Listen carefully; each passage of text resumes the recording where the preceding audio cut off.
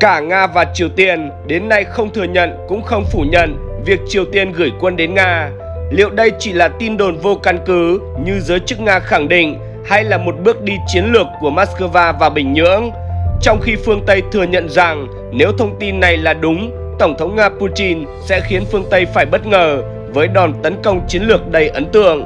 Hãy cùng thảo luận về cách các bên đưa ra phản ứng và kịch bản có thể xảy ra xung quanh vấn đề này trong chương trình ngày hôm nay.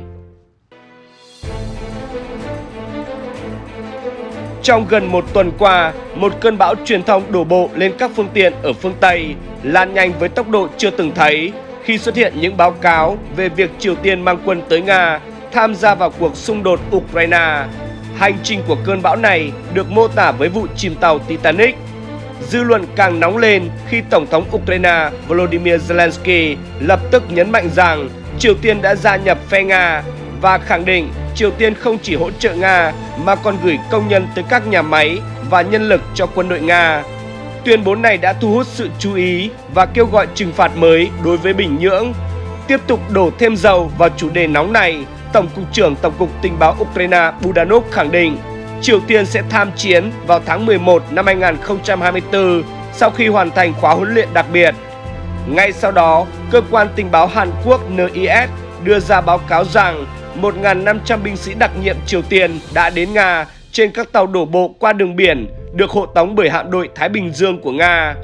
Cơ quan tình báo Hàn Quốc cũng nói rằng một số vị tướng của Bình Nhưỡng có thể đã đi cùng một số ít quân được điều động đến các vùng chiến trường ở Ukraine.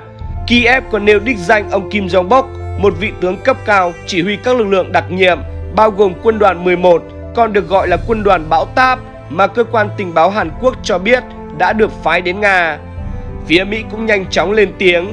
Điều phối viên chiến lược của Hội đồng An ninh Quốc gia Mỹ, ông John Kirby, nhân đôi con số và tuyên bố Triều Tiên đã gửi ít nhất 3.000 binh sĩ đến Nga và nếu họ thực sự tham chiến sẽ trở thành mục tiêu quân sự hợp pháp. Bộ trưởng Quốc phòng Mỹ Lloyd Austin cũng lên tiếng cho rằng có bằng chứng rất nghiêm trọng về sự hiện diện quân đội Triều Tiên tại Nga. Mặc dù mục đích cụ thể vẫn đang được điều tra, ông Austin kêu gọi cộng đồng quốc tế phải có biện pháp khẩn cấp. Căng thẳng ngày càng leo thang khi Chủ tịch Ủy ban Tình báo Hạ viện Mỹ Mike Turner kêu gọi các biện pháp quân sự trực tiếp để đáp trả việc Triều Tiên gửi quân đến Nga. Tại cuộc họp báo với người đồng cấp Hàn Quốc ngày 31 tháng 10 năm 2024, Ngoại trưởng Mỹ Antony Blinken cho biết Triều Tiên đã đưa khoảng 10.000 quân nhân đến Nga, trong đó 8.000 binh sĩ đang có mặt ở vùng Kursk. Cũng theo nhà ngoại giao Mỹ, Nga đã huấn luyện quân Triều Tiên về pháo binh, máy bay không người lái UAV và các hoạt động bộ binh cơ bản. Đây có thể là dấu hiệu cho thấy Moscow hoàn toàn có ý định sử dụng lực lượng này trong các hoạt động ở tiền tuyến. Các số liệu được truyền thông phương Tây đưa ra dao động từ 1.500 đến 12.000 quân. Tờ Bill của Đức thậm chí còn cho rằng đây là những đơn vị chiến đấu tinh nhuệ sẽ tham gia vào các hoạt động ác liệt nhất ở Ukraine. Dù có nhiều nguồn tin khác nhau, không có bằng chứng nào khẳng định chắc chắn về sự tham gia của quân đội Triều Tiên trong cuộc xung đột Nga-Ukraine. Triều Tiên và Nga đều bác bỏ các thông tin này, gọi sự ồn ào từ truyền thông phương Tây chỉ là tin đồn vô căn cứ. Duma quốc gia Nga đã phê chuẩn thỏa thuận đối tác chiến lược toàn diện giữa Nga và Triều Tiên do Tổng thống Vladimir Putin và nhà lãnh đạo Triều Tiên Kim Jong-un ký kết vào tháng 6 năm 2024 vừa qua. Để tăng cường hợp tác, Thứ trưởng Ngoại giao Nga Andrei Rudenko cũng nhấn mạnh rằng hiệp ước này bao gồm cả hỗ trợ lẫn nhau trong trường hợp một trong hai bên bị tấn công. Trong khi đó, các chuyên gia phương Tây thừa nhận rằng nếu thông tin này là đúng, Tổng thống Nga Putin sẽ khiến phương Tây phải bất ngờ với đòn tấn công chiến lược đầy ấn tượng. Hơn nữa, nếu giả thuyết này là đúng, sự góp mặt của quân đội Triều Tiên sẽ có tác động lớn đến cuộc chiến ở Ukraine với một số yếu tố đáng chú ý. Thứ nhất, Triều Tiên có lực lượng mạnh mẽ, quân đội nước này lớn thứ tư thế giới và được đào tạo bài bản. Quân đội Triều Tiên có thể hỗ trợ Nga ở một số vùng như Kursk, cho phép Nga giải phóng lực lượng để đẩy mạnh tấn công, giảm tổn thất. Thứ hai, Triều Tiên nổi tiếng với hệ thống pháo binh và tên lửa chiến thuật mạnh mẽ như hệ thống KN-09 MLRS. Điều này sẽ có thể giúp Nga tăng cường hỏa lực trên chiến trường Ukraine. Thứ ba, Triều Tiên có kinh nghiệm dày dạn trong việc xây dựng công trình phòng thủ kỹ thuật. Điều này hỗ trợ Nga củng cố các tuyến phòng thủ và tiến công hiệu quả hơn. Thứ tư, nếu tham gia hỗ trợ quân đội Nga, Triều Tiên có thể tận dụng kinh nghiệm quý giá này để học hỏi về công nghệ quân sự tiên tiến của Nga và tăng cường kỹ năng chiến đấu thực tiễn. Thứ năm, theo Hiệp ước Đối tác Chiến lược Toàn diện giữa Nga và Triều Tiên, nếu một trong hai bên bị một hoặc nhiều nước khác tấn công và rơi vào tình trạng chiến tranh, bên còn lại sẽ lập tức sử dụng mọi phương thức có thể để cung cấp hỗ trợ về quân sự hoặc các lĩnh vực khác. Hiện nay, nếu ở kịch bản quân Triều Tiên đã có mặt ở Kursk, vẫn chưa rõ một cách chính xác các binh sĩ Triều Tiên sẽ hỗ trợ cuộc phản công của Nga ở mặt trận này ra sao. Cần lưu ý, sau khi đột kích vào Kursk vào tháng 8 năm 2024, Ukraine chiếm được khoảng 1.000 km vuông lãnh thổ Nga. Sau đó, quân đội Nga đã giành lại được một nửa số lãnh thổ này, nhưng tốc độ phản kích của họ là khá chậm, do Nga muốn ưu tiên cho cuộc tiến công của mình ở miền đông Ukraine. Nếu Nga tái chiếm toàn bộ khu vực Kursk bị mất, Ukraine sẽ mất đi một lá bài quan trọng trên bàn đàm phán. Giới phân tích phương Tây cho rằng những binh sĩ Triều Tiên này có thể được sử dụng cho những cuộc tấn công trực tiếp hoặc dùng để bảo vệ hậu cứ của khu vực tác chiến nhằm tạo điều kiện cho quân Nga rảnh tay tấn công. Viktor Kebliuk, đại tá Ukraine về hưu, hiện làm việc cho Trung tâm Chiến lược Quốc phòng có trụ sở tại Kiev, dự đoán quân Triều Tiên sẽ có mặt trong những cuộc tấn công của Nga nhằm vào các vị trí của quân Ukraine. Cụ thể, ông Kebliuk dự báo các đơn vị Triều Tiên sẽ xung kích vào những vị trí có công sự chắc chắn nhất, còn quân chính quy Nga sẽ củng cố những điểm và tuyến đã giành được. Theo vị cựu đại tá này, Nga sẽ tiếp tục tận dụng lợi thế hơn quân và cả lợi thế về pháo binh. John Foreman, cựu tùy viên quốc phòng Anh tại Moscow và Kiev thì lại có góc nhìn khác. Ông cho rằng lính Triều Tiên sẽ lo phòng ngự và củng cố tiền tuyến, còn lính Nga sẽ tập trung vào tiến công. Ông Foreman bổ sung rằng nếu lính Triều Tiên tham gia tấn công trực tiếp, vị trí của quân Nga có thể bị lộ. Tuy nhiên, hiệu quả chiến đấu của quân Triều Tiên như thế nào vẫn chưa được kiểm nghiệm và sự phối hợp giữa quân Nga và quân Triều Tiên có thể sẽ gặp một số vấn đề. Điều này có thể lý giải ở chỗ lính Triều Tiên cơ bản không tham gia cuộc chiến nào kể từ sau chiến tranh Triều Tiên diễn ra trong thập niên 1950. Nếu trong kịch bản tham chiến trong xung đột Nga-Ukraine, các binh sĩ Triều Tiên sẽ ra mặt với những người lính Ukraine ít nhiều đã có kinh nghiệm thực chiến thời hiện đại.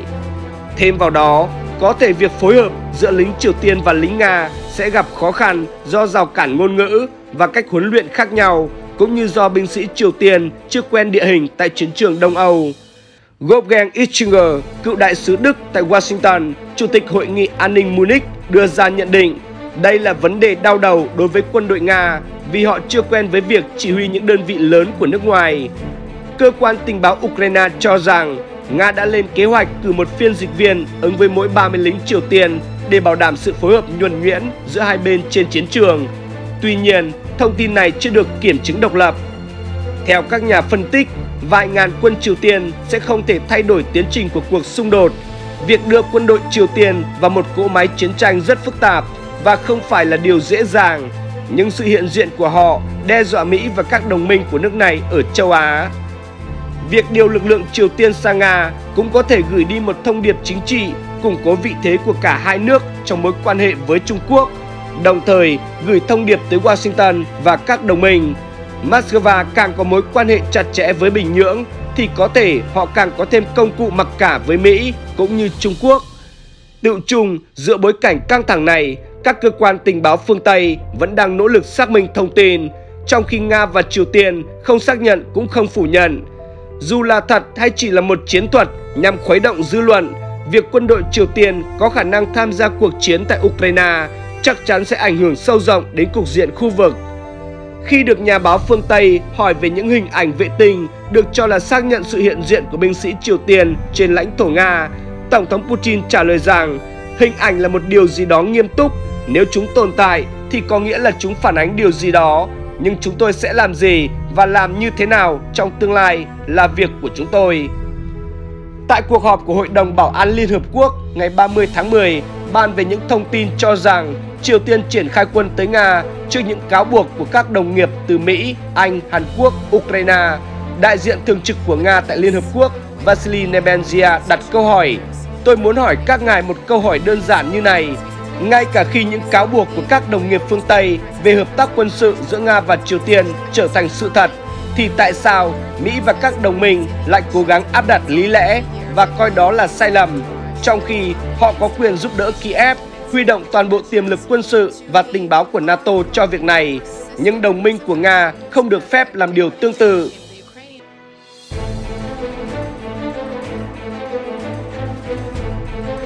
Mỹ hiện chưa chứng kiến binh sĩ Triều Tiên thực sự xung trận giúp Nga, song giới chức Mỹ lần lượt đưa ra lời cảnh báo đặc biệt sắc lạnh nhằm vào binh sĩ Triều Tiên. Ngoại trưởng Mỹ Blinken hôm 31 tháng 10 cảnh báo rằng nếu những lực lượng này tham chiến hoặc hỗ trợ tác chiến chống lại Ukraine, họ sẽ trở thành mục tiêu quân sự hợp pháp.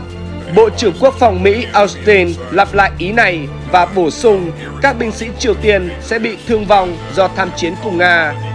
Giới chức Mỹ và Hàn Quốc hôm qua đã thảo luận về một loạt phương án để ứng phó với diễn biến này. Ngoại trưởng Blinken cho biết Washington sẽ công bố hỗ trợ an ninh mới cho Ukraine trong những ngày tới. Đồng minh cam kết là vậy, song Tổng thống Zelensky chỉ trích phản ứng bằng không của phương Tây trước việc Triều Tiên triển khai quân đội tới Nga. Thêm vào đó, theo Kiev Post, Tổng thống Zelensky trong một bài phát biểu gần đây chỉ ra rằng chỉ có 10% viện trợ quân sự mà Mỹ hứa chuyển cho Ukraine trong năm 2024 thực sự đã đến được tay Kiev là có cơ sở. Trước đó, trong một cuộc họp báo ở Reykjavik, ông Zelensky nói rằng một trong nhiều vấn đề của Ukraine trong cuộc chiến với Nga chính là vũ khí viện trợ của đồng minh hứa hẹn đến quá muộn hoặc chưa đến. Điều này làm ảnh hưởng tới kế hoạch tác chiến của Ukraine.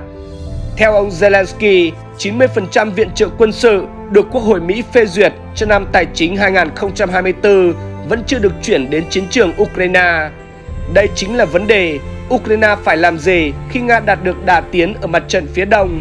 Ukraine phải xem xét lượng quân dự bị, các lữ đoàn đặc biệt, kiểm đếm các thiết bị quân sự được viện trợ từ Mỹ. Nhưng vấn đề là Ukraine mới chỉ nhận được 10% số đó, dù các gói viện trợ đã được bỏ phiếu thông qua. Quốc hội Mỹ đã thông qua, vấn đề không phải là tiền mà là thủ tục hành chính và hậu cần, ông Zelensky cho biết. Chưa kể, dù nhiệt tình ủng hộ Ukraine, đối tác khác, Hàn Quốc gặp một số trở ngại đáng kể khi muốn viện trợ vũ trang cho Kiev. Trước tiên là lệnh cấm dài lâu của Hàn Quốc đối với hành động gửi viện trợ quân sự cho các nước khác đang trong chiến tranh. Nếu muốn Quốc hội Hàn Quốc cho phép xuất khẩu vũ khí sang Ukraine, thì trước tiên phải chứng minh hành động của Triều Tiên tạo ra mối đe dọa rõ ràng và cấp bách đối với an ninh quốc gia của Hàn Quốc. Một trở ngại khác là Hàn Quốc không muốn phá hủy hoàn toàn quan hệ với Nga, bất chấp việc họ ngày càng lo ngại Điện Kremlin hỗ trợ cho Triều Tiên. Yếu tố nguy cơ thứ ba là Hàn Quốc có thể bị cuốn sâu vào xung đột Ukraine vượt xa ý định ban đầu. Như vậy, có thể thấy kịch bản tồi tệ nhất ở đây là nguy cơ quốc tế hóa và mở rộng cuộc xung đột Ukraine hơn nữa. Song song với đó là nguy cơ nổ ra chiến tranh hạt nhân trên bán đảo Triều Tiên. Do đó, dù muốn hay không, các bên đều tính toán thận trọng trong mọi nước cờ chiến lược. Cảm ơn quý vị và các bạn đã quan tâm theo dõi. Xin hẹn gặp lại ở chủ đề sau.